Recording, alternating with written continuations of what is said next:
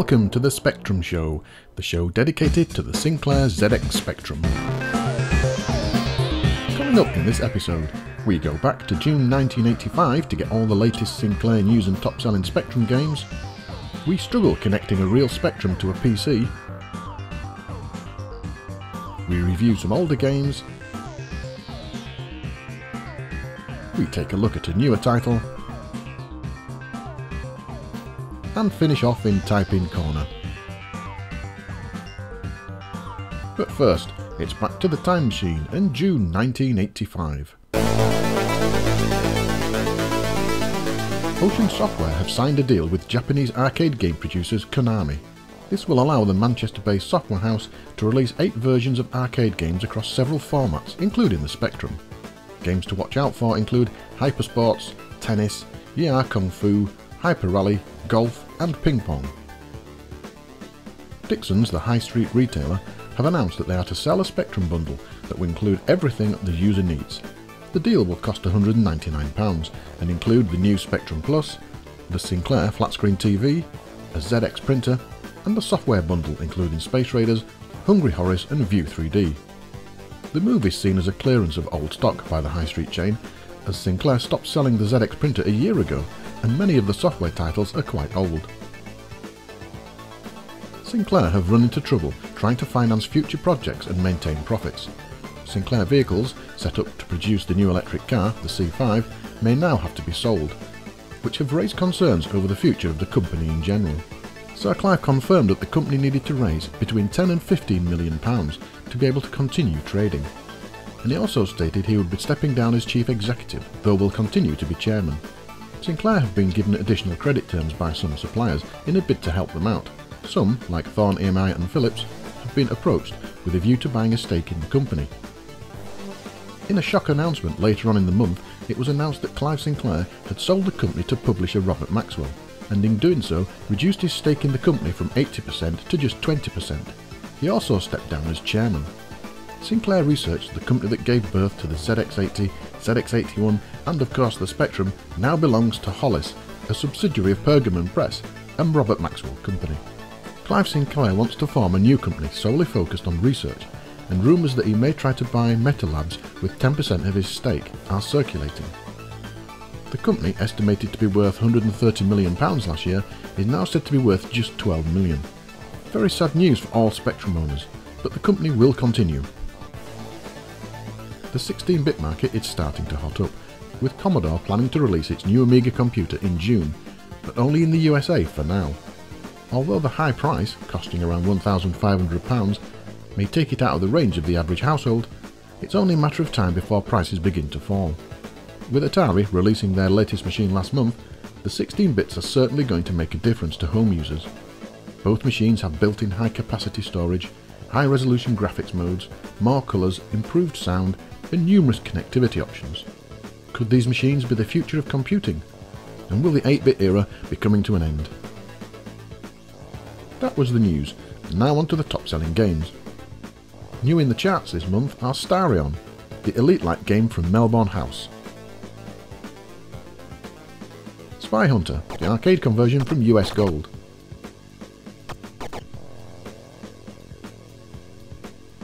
Minder, a game based on the popular television show from DK Tronics.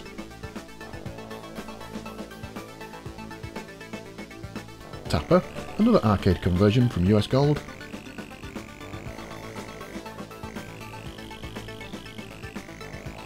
And Dun Darach, a graphic adventure with superb animation from Gargoyle Games.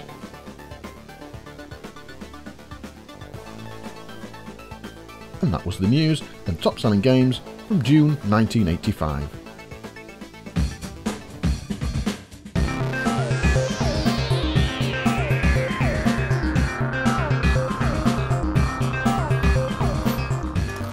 This little exercise was never intended to be a feature on the show, it was just an experiment to see if I could connect my Spectrum to my PC.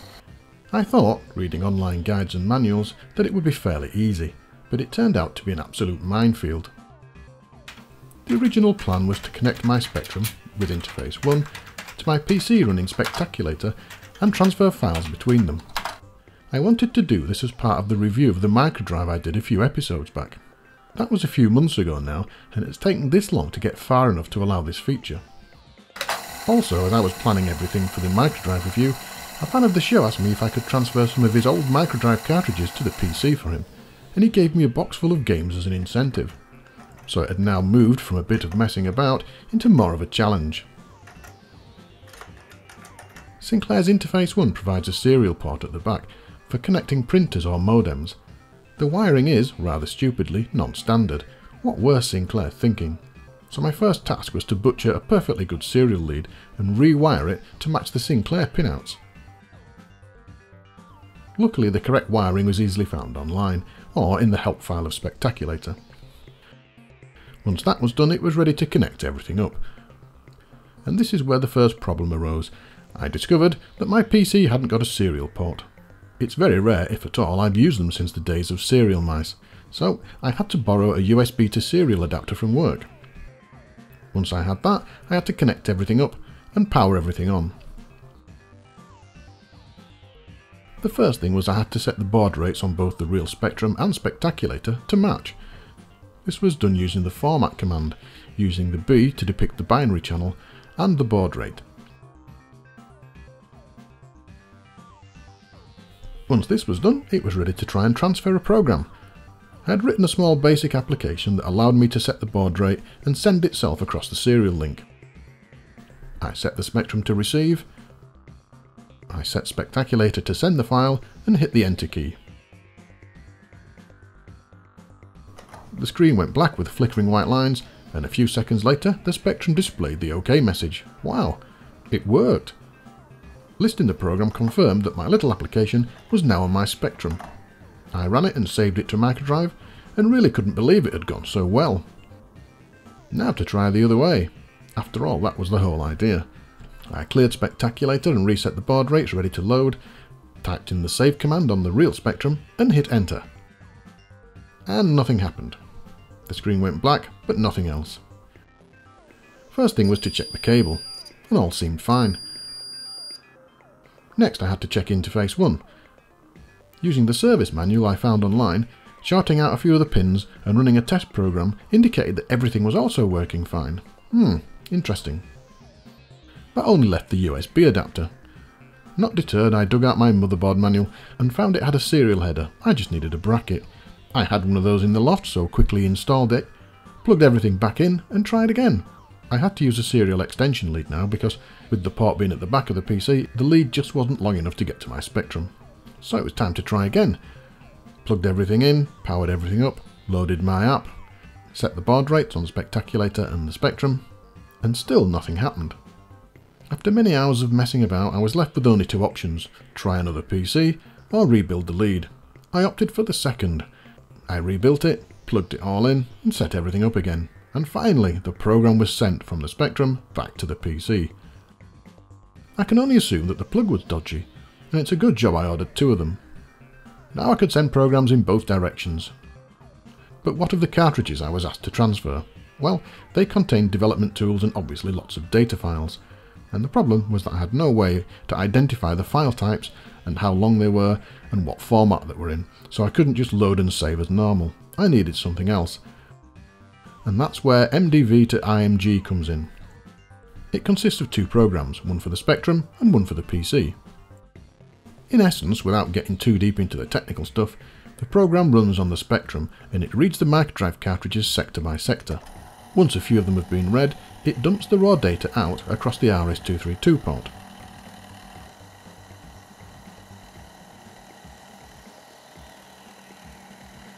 On the PC side we have a terminal program called Termite with a log file plugin and this just reads any data it receives and dumps it out to a bin file.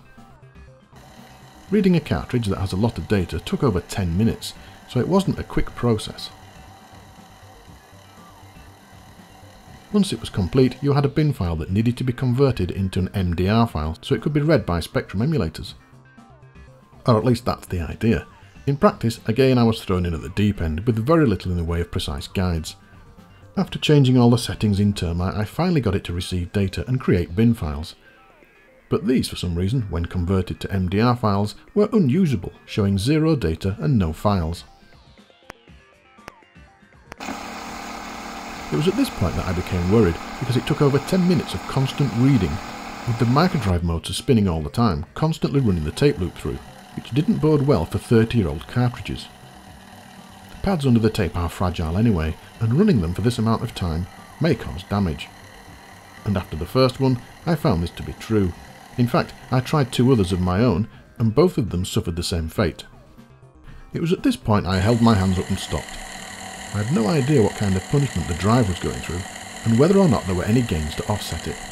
So, to sum up this feature, if you want to transfer normal basic programs or code, and you know the address and length, then using the RS-232 link is fine, if you know how to do it. If, however, you've got a full cartridge of data that you don't know what's going on, make sure that you've got the process working 100% before trying it on anything of value, otherwise you could do more damage than good. Well that was my lesson learned, and I won't be trying anything like that again in the near future.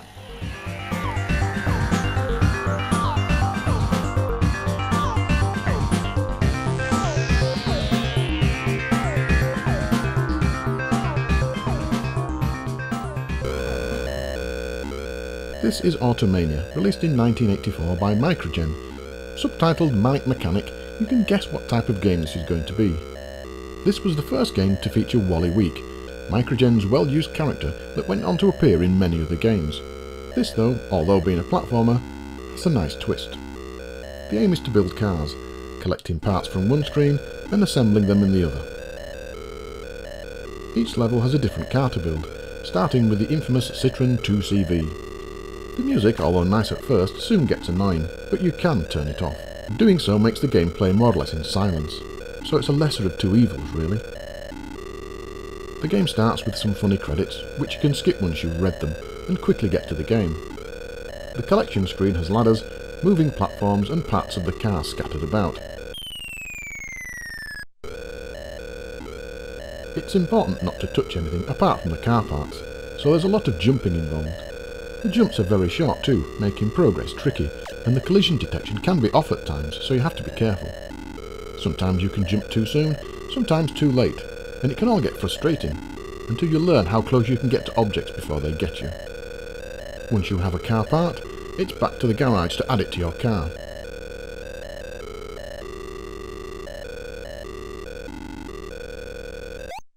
Here there are more things to avoid, before you can add the part and get back again for the next one.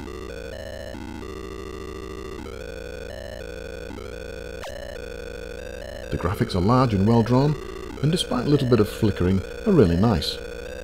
The sound, without the music, as mentioned before, is limited to the collection and death sounds.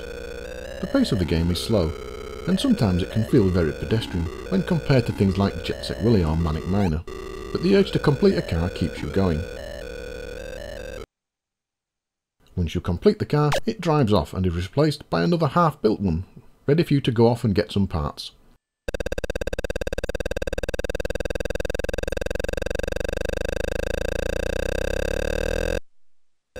As each car changes, so do the nasties, and the platform layout of the collection screen. And if all this wasn't enough, there's a time limit to each car too, so you can't mess about. I like this game, but I think it's overly difficult, especially around the collision detection.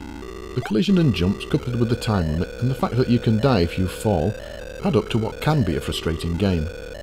But I still like it, but that doesn't make it a brilliant game. Why not give it a try? This is Star Runner, released in 1987 by Codemasters. The inlay informs you that you've been selected for the 2087 Olympic event of star running. So, what is star running? Well, it's a race against the clock over a set distance with added traps and obstacles, a kind of interstellar obstacle course.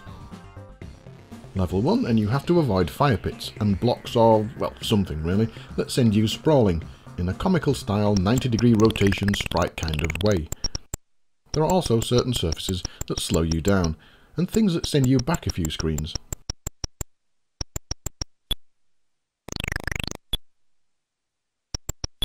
Because this is time-based, you have to choose the best route, while at the same time avoid getting delayed or falling over.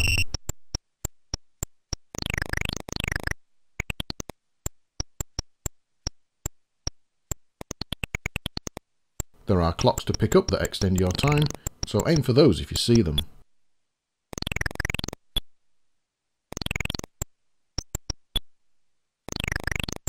The graphics are a kind of 3D that really doesn't help control at all, as you often find yourself jumping too soon or too late, triggering that flatten your face moment, and of course wasting some time. The screen does not scroll, instead it flips, which is also a bit of a pain, as you can't tell what obstacles are coming next, and sometimes run straight into them.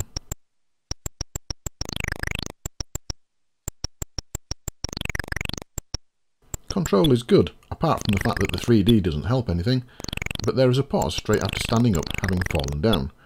So you end up just holding down a key. This of course can have its own consequences, as you can charge headlong into a fire pit.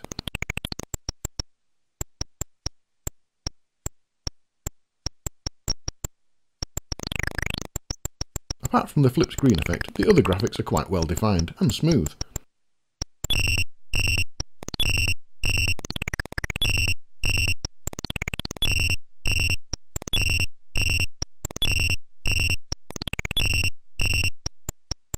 Sound is very limited to a sort of plink plink sound as you run or fall over, which is a bit disappointing for 1987. I managed to get past the first level quite a few times, and the second level is much the same really, but with different colours and slightly different hazards. The game mechanics are the same though, avoid things that are going to waste any time or knock you down, and try to get to the end as fast as possible.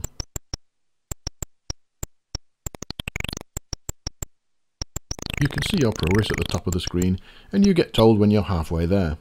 I presume this is to add some sort of tension to the game.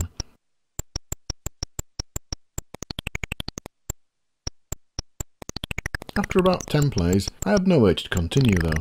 I wasn't drawn in and I couldn't care less what the other levels looked like. Somehow the game just falls as flat as the main sprite after tumbling over a block that it was nowhere near.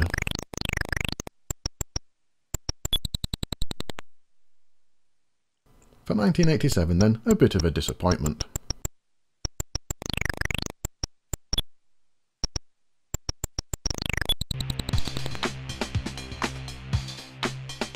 This is Beam Rider, released in 1984 by Activision. You are the Beam Rider, protector of Earth, patrolling the restricted shields that surround the planet. Anything that appears in them must be destroyed. Each sector has 15 aliens and a sentinel, you can't destroy the Sentinel until all the aliens have been removed, and there is a countdown at the top left of the screen. The intro section is a bit off-putting, but once you get into the game, we get a nice 3D grid effect, and a few aliens flying about.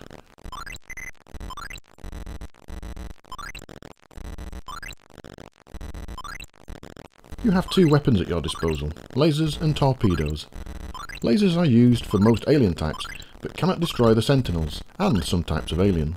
Torpedoes can destroy anything, but you only have three per level, so you have to be careful.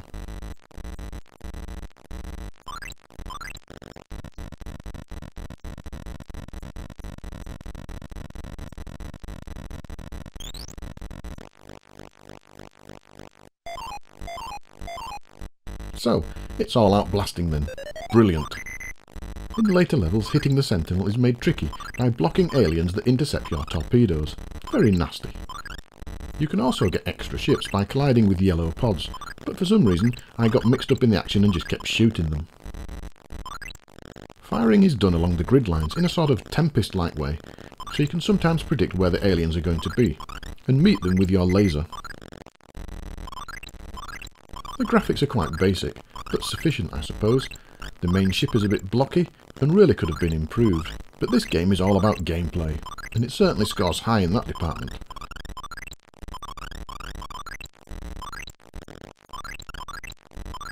3D effect is nice, and the control is fast and smooth. Sound is used well, although the constant drone can sometimes get irritating.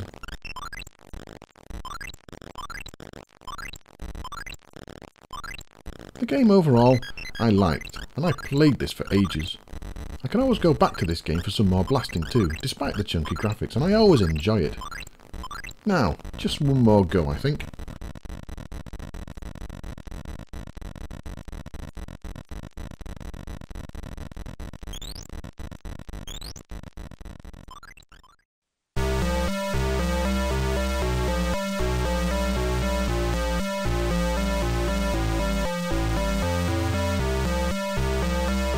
This is Terralandia, written by Fabio Di Doni and released in 2014.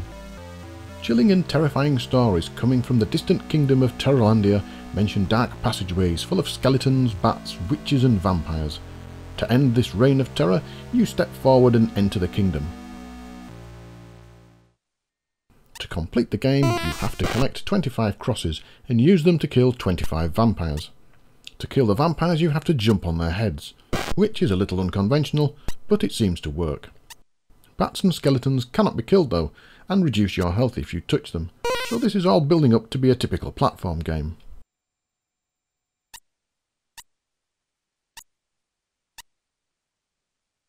There are some differences. Witches block certain entrances, and to kill them you have to use magic cauldrons, again which you have to collect. So in essence you collect everything, avoid bats and skeletons and spikes, jump on vampires, and try and become a hero.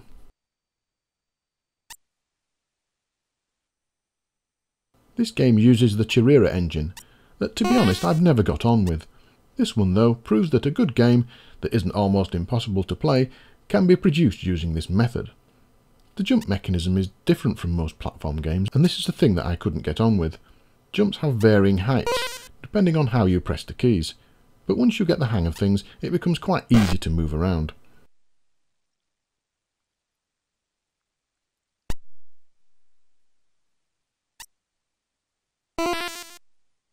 Make sure you collect everything from every screen before you move on though, because you can get caught out.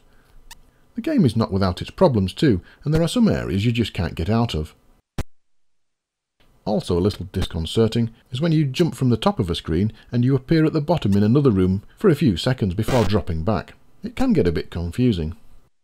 And also in one room the game freezes for a while, but don't let this put you off.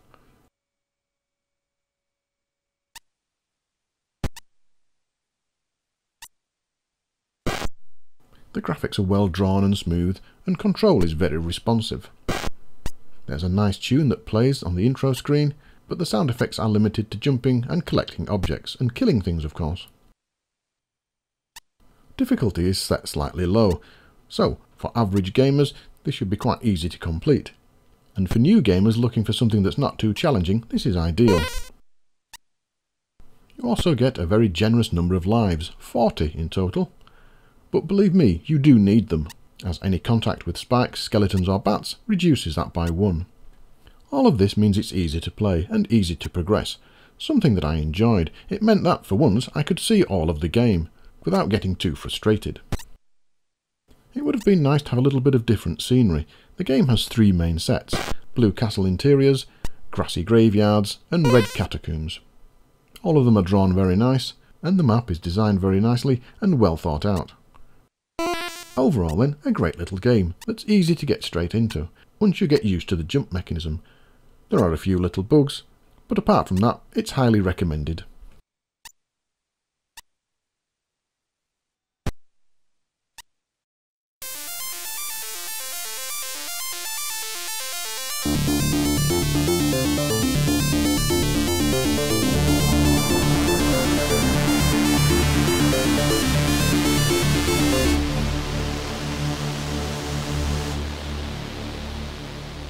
Welcome to Type In Corner.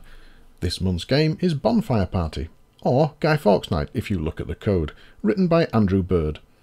This type-in originally appeared in an October 1985 edition of Popular Computing Weekly. The listing took up a full page, with very small text. It's mainly basic but has a few machine code routines for sound effects and screen manipulation. So what was the game like? The idea is simple. Move around the screen and collect 8 barrels of gunpowder. Sounds easy, but one barrel has a hole in it and leaves a trail of powder behind you. After a short time, this ignites. If this catches up with Guy, it's obviously bad news.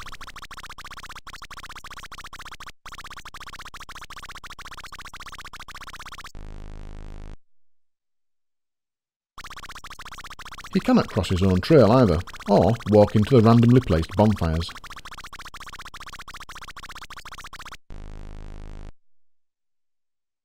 Once all the barrels are collected, he can exit the screen and blow up the Houses of Parliament. There's a nice introduction, which unfortunately runs every time you start a new game, but once you get into it, it's not too bad.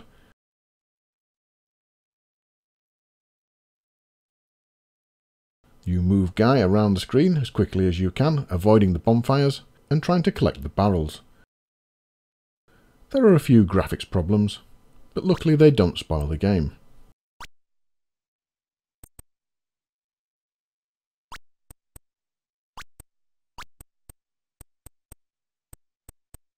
Once you collect the barrels, it's time to exit bottom right and blow up the Houses of Parliament.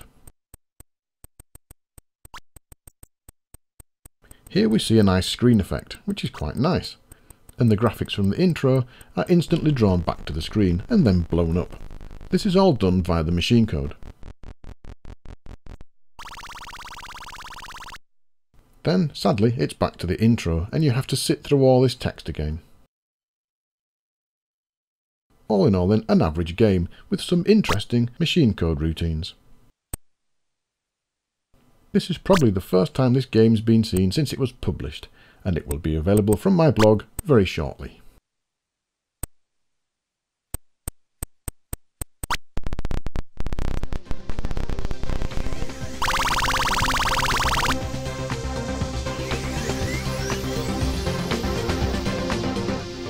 Well, that's the end of this episode. I hope you enjoyed it and thanks for watching. You can get in touch by using the details on screen. See you soon.